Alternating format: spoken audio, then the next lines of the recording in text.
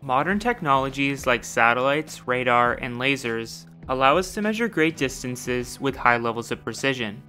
We know the distances between cities, the circumference of the Earth, and even the distance to the Moon down to the meter. 2,000 years ago, distances in the hundreds of kilometers were measured in footsteps, but that did not stop one Greek mathematician from calculating Earth's circumference with incredible accuracy. Eratosthenes was a Greek polymath who excelled at astronomy, mathematics, and geography. He lived in Egypt during the 3rd century BC, and among his many accomplishments was being the first to create a projection of the known world, the first to calculate Earth's axial tilt, and the first to measure Earth's circumference. Contrary to popular belief, most humans before the Enlightenment did not think the Earth was flat. A spherical Earth was first proposed by Pythagoras over 2,500 years ago. The strongest evidence of a spherical Earth available to ancient Greeks was lunar eclipses because Earth's shadow on the moon was curved. Only circular shaped objects cast shadows that don't have edges, so the ancient Greeks proposed Earth's shape to be a sphere. Working at the Library of Alexandria, the center of knowledge in the ancient Mediterranean, Eratosthenes knew and understood the spherical Earth argument. Starting with this assumption, he went about calculating Earth's circumference. While his exact method is not known because his writings were lost when the Alexandria Library fell into disrepair, a simplified version was written down by another astronomer, Cleomedes.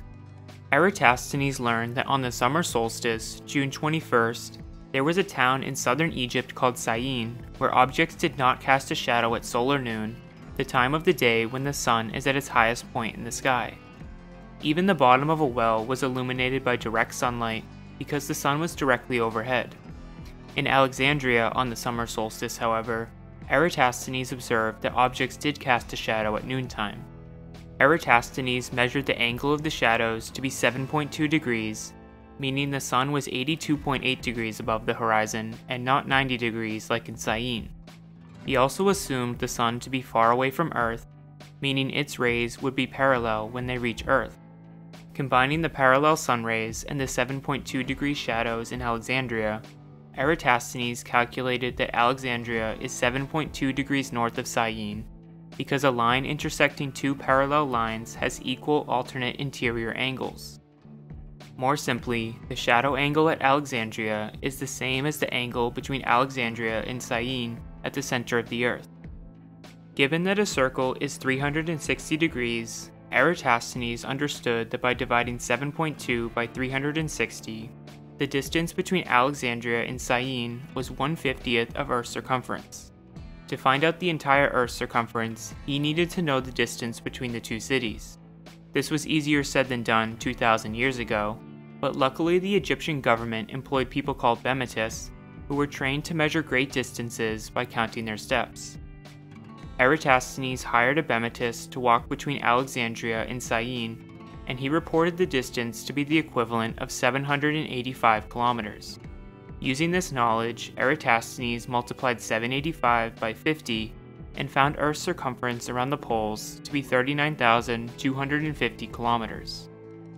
Eratosthenes' result was quite accurate with an error of just 1.9% as we now know Earth's polar circumference to be 40,008 kilometers. With Cleomedes' retelling of the calculation, though, there are some issues. First, Syene is not on the Tropic of Cancer, where the sun is directly overhead at noon on the June solstice. Second, Alexandria is not directly north of Syene, as they are located on different meridians or lines of longitude. It is still possible to calculate Earth's circumference with those locations, but it would have been more complicated. Despite these discrepancies, with better inputs, we can use the same method to calculate Earth's circumference. First, find two cities located at the same longitude. For this example, we'll use Omaha, Nebraska and Houston, Texas. The distance between these cities is 1,278 kilometers. Using a sun angle calculator, we can find the angle the sun is above the horizon on May 1st at local noon. For Omaha, the solar angle is 63.9 degrees, and for Houston, it is 75.4 degrees. By subtracting each from 90 degrees, the shadow angles for Omaha and Houston are 26.1 and 14.6 degrees respectively. The difference between each angle is 11.5 degrees. Therefore, Omaha and Houston are separated by 11.5 degrees of latitude. By dividing 360 by 11.5 and then multiplying by 1,278, you would get 40,007 kilometers, quite close to Earth's actual polar circumference.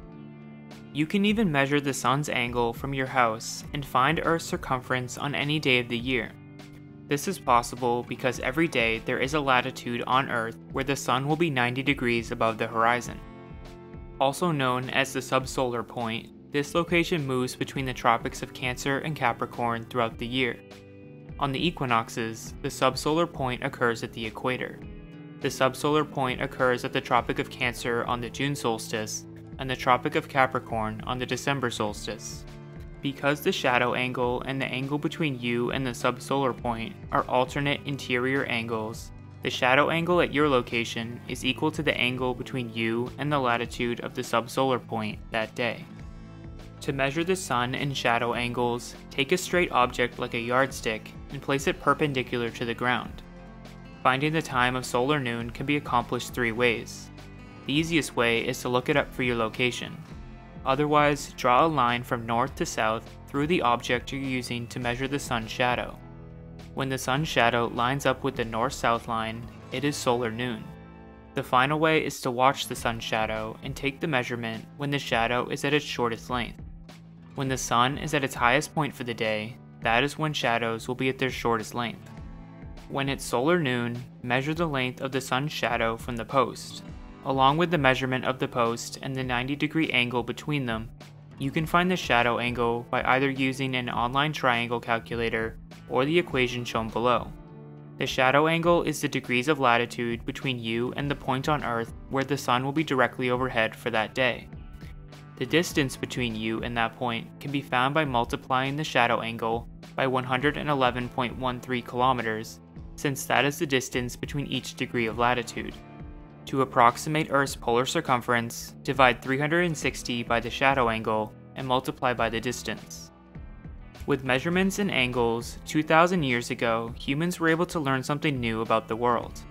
Simply put, all three examples involve finding an angle around a circle and the distance on Earth's surface between two locations separated by that angle.